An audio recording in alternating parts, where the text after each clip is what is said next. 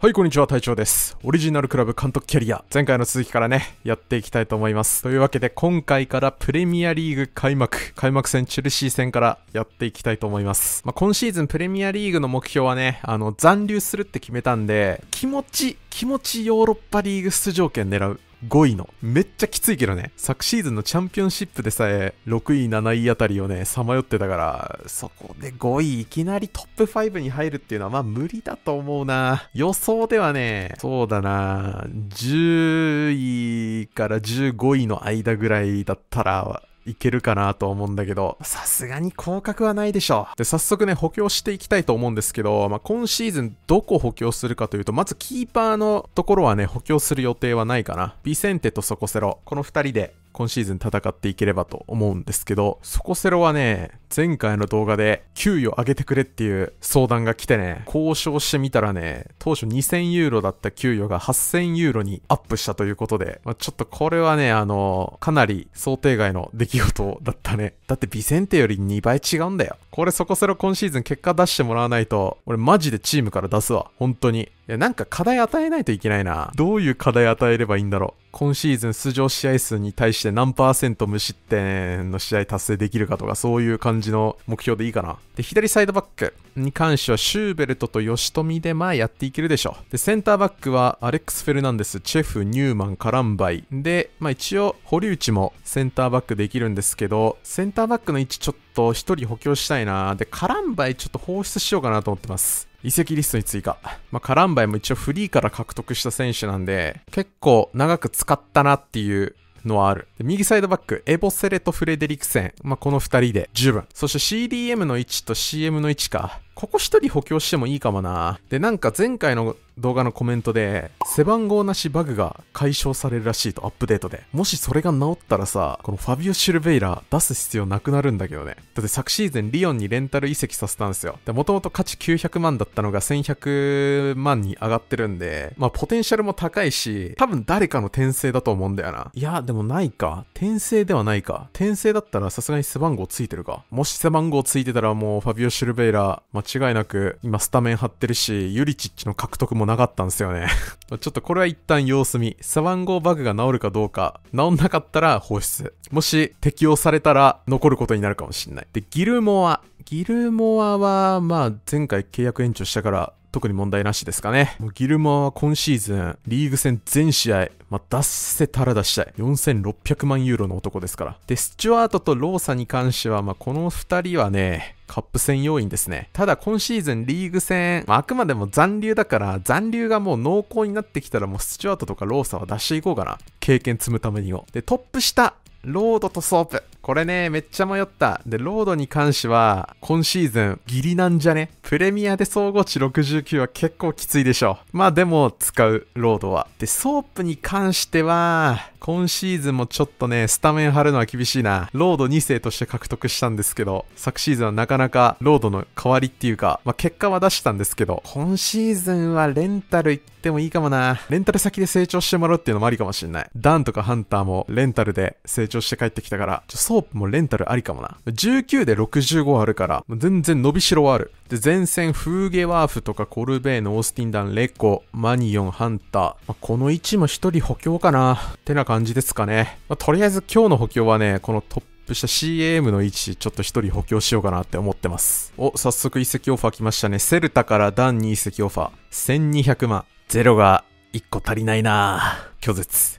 フーゲワーフにも移籍オファー来た。ベネツィア、355万。安いな、フーゲワーフ。コスパよ。でも出しません。今シーズンもちょっとスパサブとして輝いてもらう。うちのチーム出す選手そんないねえんだよな。みんな基本的に使う選手なんで、そこまで放出したいと思う選手いないんだよね。さあ、というわけでトップ下の補強。まあ、前回の動画でベンウッドバーンの補強。を考えてると言ったんですが、ちょっとね、ここに来てね、一人ね、気になる選手がいて、このハンニバル・メイブリ？メイブル？メイブリだね。マンチェスターユナイテッド所属の21歳、チュニジア出身、総合値73。この時点でベンウッドバンより高い。で、特性が4つついてる。いや、ユナイテッドね、若い選手多いんだよな。フーゲワーフもユナイテッド出身だもんな。このメイブリはね、僕全然知らないんすけど、プレイスタイルとか。ただ現実では結構才能ある優秀な選手ってあるから。いやー、でもなんか今ちょっとベンウッドバンとこのメイブリで迷ってんだよね。ウットバンかな、やっぱり。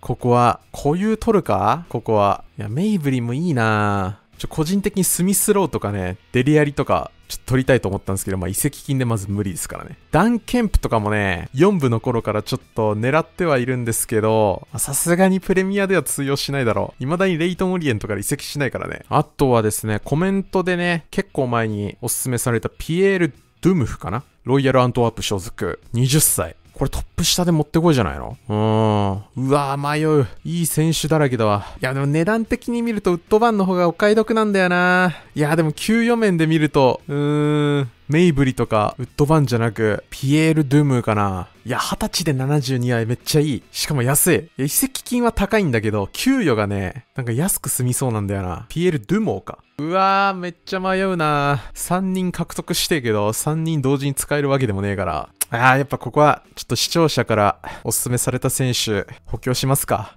もう結構前にね、ピエール、ドゥもめっちゃいいですよっていうのをいただいてて、まあ、いつか補強しようって言ってたんで、補強しましょう。固有じゃねえけど、まあ、髪型奇抜だし、目立つでしょ、試合面では。さあ、移籍金の提案です。市場価値は550万だから、とりあえず550万で出してみるか。もっと上来そうな気がするんだよね。お近い !580 万いいんじゃない？じゃあもう承諾しよう。てっきり900万ぐらいいくかなと思ったけど。あざっすさあ、おしゃれなところでの 交渉です。おー、なんか、染めてる？さあ、問題の給与面です。さすがに1万1000じゃ済まないだろうな。1万1000でも安いと思うんだよね。いや、これ一発で断られたくねえな。1万4000。いや、安いか。安いな。1万5000。これいいとこ行ってると思うんだよな。と。うわー、ダメだったマジか。え、じゃあちょっと1週間後もう一回交渉してみよう。そしてソープにレンタル移籍オファー。来ましたね。どこ？セルティックか。いいとこじゃない？セルティック伸びそうだな。じゃあ買い取りオプションつけずに、1年間、ちょっと行って成長して来てもらおう。楽しみだね。やべ、そこセロにレンタルオファー来たぞ。ブラガから もうブラガなかなかいいところだな。でも最近契約延長したばかりだからな。拒絶で。めっちゃ移籍オファー来た。まずシューペルト、サンタクララ、650万。全員拒絶だな。カランバイ、ベネツィアから195万。ああ、いい、いい。合意、合意、合意、合意。ソープのセルティックレンタル移籍、ここも合意しましょう。で、ハンター。どこだこれ？ズ、ズボレ。これオランダのクラブだったっけ ?165 万。拒絶。アレックス・フェルナンデス。FCS、FCSB。どこかわかんない。拒絶。うち出す選手いねえんだよ。そんなに。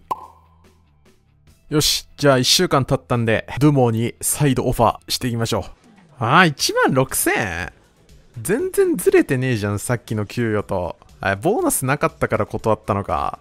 じゃあこれボーナスを削るってなると、1万8000、9000ぐらいはいきそうだね。じゃあ1万8000ユーロでどうですか？ああ、うまく通った。なんだよ、さっきの交渉でさ、もうちょっと話し合いできたじゃん。短期すぎんか。まあでもちょっと大物獲得したわ。そしてカランバイ、ベネツィアへ売却。移籍予算に130万追加されたと。お世話になりました。カランバイ。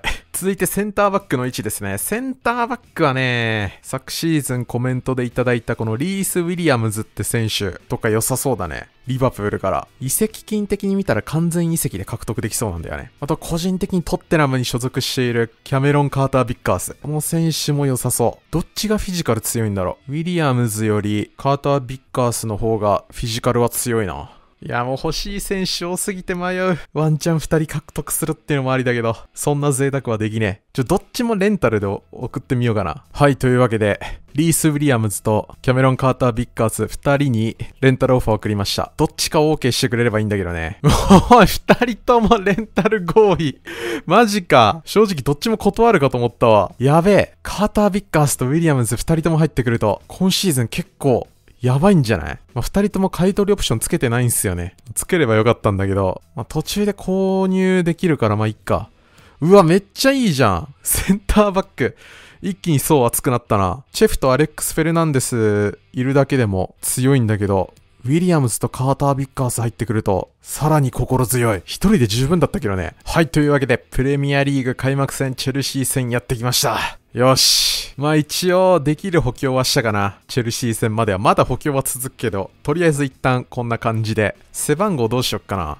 とりあえず、9番、ルイスの背番号誰が引き継ぐかって話だけど、いや、ここはもうハンターしかいないっしょ。ハンターが背番号9を背負う。いやーでも正直言うと、67でプレミアリーグ、戦っていけねえな、これ。いやーでも、総合値じゃないからね。なんか見せてくれんしょ、ハンターだったら。で、ダンの背番号を7番だね。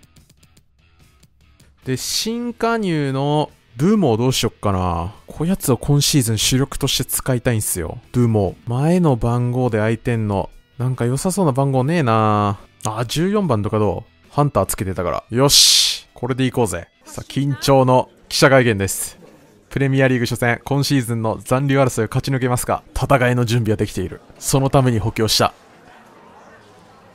やばい、ざわついてるわ。アントワープからドゥモーを獲得して以来。なるほど。チェルシー戦で試合、まあ、先発する予定だね。ただまだ慣れるまでには時間必要。うちのスタイルに合うかどうか。かロードと今シーズン、ちょっとライバル関係にはなるね。ただ、チェルシー戦はどうだろう。勝てたらすげえけどな。まあでも、勝つつもりでいかなきゃな。プレミアリーグ戦っていけねえからな。ジャイ、キリは狙っていく。え、待って、ドゥモーとウィリアムズ、カーター・ビッカース、めっちゃ疲れてんじゃん。なんで？練習かな？あ、でも試合かもしんねえ前のクラブでの。え、じゃあ先発で出すのちょっときついな。まあ、今回はいつも使ってるメンツでいこうぜ。なるべく。ルモーとかはちょっと後半出せたら出したいね。はい、というわけで、チェルシー戦のメンバー。キーパーはビセンテでいきます。で、4バック左からシューベルト、アレックス・フェルナンデス、ホルーチ。で、フレデリクセン。アンカーはワットで、前にロードとギルモア、スリートップ、オースティン・ダン、右にレコ。で、ど真ん中にハンターと。まあちょっと新戦力使いたかったところですが、まあベストコンディションじゃないんで、まあ後半出すかどうか。ドゥモーは後半から出したいね。それでは強豪チェルシー戦、やっていきましょう。おおエキスコートキッズだかわいいあれか、向こうの我々のユニフォームを着ている子供たちは今ユースに所属してんでしょ勝利上がってくんでしょこっちにあ女の子もいるまあいるそりゃそうか。いるわな女の子。普通に。ついに来たぞ。この大舞台に。かわいいな。いや4シーズンかかりましたからね。おおほとんどモブ顔だけど。当初のメンバーからガラッと変わったね。さあこのメンツでチェルシー相手に見せられるか。もうちょっとやる気出てきたわ。ぶっ倒してやるわ。でもなんかカップ戦でチェルシーと当たった経験あるよね。カラバオカップか FA カップか知らないけど。なんかボコされた記憶あるよ。おまずはボール取られちゃいけない。ハンタああボール取られないようにね。なんか遠目からでしかシュート狙えないな。すげえマークべったりついてくる。待って待って。早い早い。オードイ早い。早い早い。行かせんな行かせんな。そうそうそうそう。ナイス守備。カウンターカウンター。ハンター？ハンター！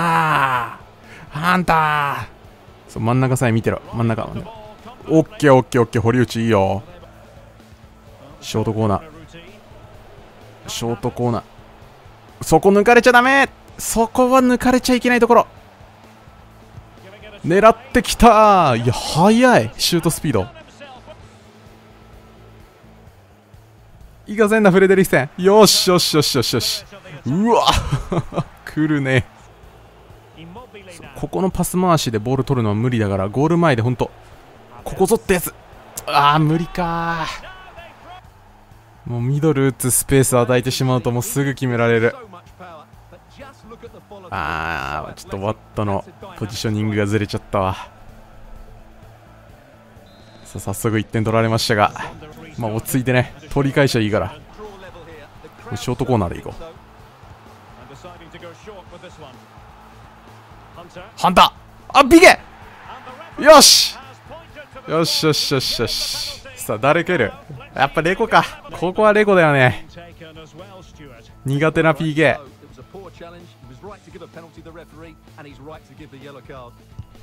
よし！決めたぜ。プレミアリーグ。第1号ゴールはレコの PK いや落ち着いてたねレコ。なんとか同点には追いつきましたがこのチェルシーの勢いを止められるか。前半はなんとか1-1で終えたいんだけどなんかちょっとどうしよっかなもう守備。ファール覚悟でいこうかなもう。うわ それはちょっと安易な考え方だ。ああもうこのこのパターンになると早すぎて。クリアクリアクリアクリアクリア。よし前半終了。前半11です。インモービレさえもインモービレだけマークでミドルミドルミドル。そう。そうそうそうそう。もうそれ結構打ってくるから。やっちょっとやっちゃった。やっちゃった。クリアがまさかの。アレックス・フェルナンデス。取れないだとクリバリが上がってきてるもんな。ちょっと待って。クリバリが上がってきてる。うわ狙ってくる。オッケーオッケーオッケー。さあチャンス。バカ。さあここ中央中央中央狙ってくる。結構打ってくるね。後半80分になってもまだ点取られてなかったら得意の逃げる戦法を取るか。勝ち点1よ。チェルシー相手から勝ち点1取るのは勝ち以上の価値あるわ。あああやばいやばいやばい。この流れこの流れ。このうわー。うちのキーパービセンテからもう簡単に取っちゃうね。マジか。簡単に取っちゃうよビセンテから。プリシッチプリシッチからボール取れ。深すぎる深すぎる深すぎる。うわ73分。入れよっか。ドゥも入れよう新加入の選手入れよう。これ逆転無理だろ。いや同点も無理じゃね？いけるかな？レコレコレコレコ。外側行け。あーダメか。ダメかダメかダメか。ダメだダメだダメだ。一旦下げて。ドゥモ。おい。ドゥモドゥモドゥモ。ダン。シンプルにクロス上げたいんだけどな。ドゥモ。ドゥモ。いいね。いや惜しい。まあでもシュートまで持っていけるっていうのがすげえわ。うわーいけるか。ハンター！まあ今日は新加入のちょっと実力をチェルシー相手に見せることはできなかったんですけど。いや無理だろ。先発でもなんか通用しない気がするわ。あーこれやばい。ルカク。おおあー終わった。全然通用しなかった。結果的に見ると1-2でね惜しい感じに見えるけど全然全然通用しなかったわ。開幕戦。チェルシー相手に勝てず。ま、次回はね、ちょっと新加入の選手とかを先発デビューさせて、いろいろね、新しいことをちょっとやってみたいなと思います。いや、ドゥも楽しみだな